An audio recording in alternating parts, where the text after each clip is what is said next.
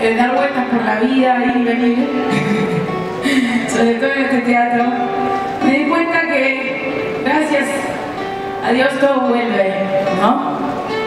Las buenas acciones, los errores. Y esta canción se trata un poco de esto.